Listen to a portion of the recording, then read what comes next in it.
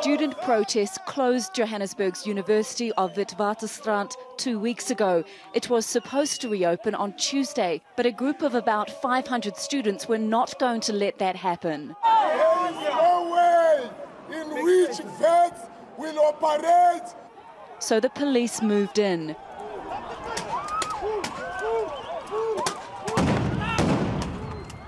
They fired rubber bullets, tear gas, and stun grenades at the protesting students. These students say they want free university education to help close South Africa's inequality gap, which is still largely divided along colour lines. They're angry at how President Jacob Zuma treated them at a meeting on Monday. When we arrived, President read out a press statement. That was basically it. And he left. He didn't even hear the voice of students. We don't take to the streets for fun. We don't take to the streets as a first means. It is because we are not taken seriously in those meetings. Historically, the governing African National Congress has promised free education, free houses, and free healthcare.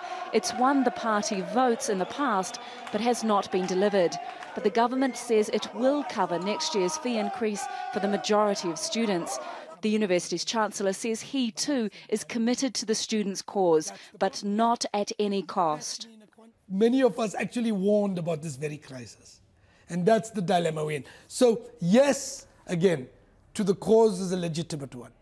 No to losing the 2016 academic year. This university is at the heart of the Fees Must Fall movement, which has seen about 16 universities across the country disrupted. The student protests cut to the core of the inequality debate in South Africa. Poor students can get a government loan to cover their fees, but when they get a job, they have to support family members. So they say that's a double burden of repaying loans and trying to lift their loved ones out of poverty. It's something these students call a black tax. The student movement may be weaker than it was last year, but it's forcing a debate in South Africa over whether higher education is a right and who should pay for it. Tania Page, Al Jazeera, Johannesburg.